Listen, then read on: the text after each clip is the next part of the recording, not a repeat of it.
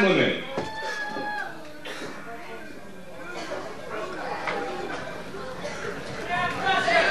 We'll be wrestlers this match. Introducing first, he is from Stone Mountain, Georgia, weighing 275 pounds, returning to Peel's Palace tonight, Crusher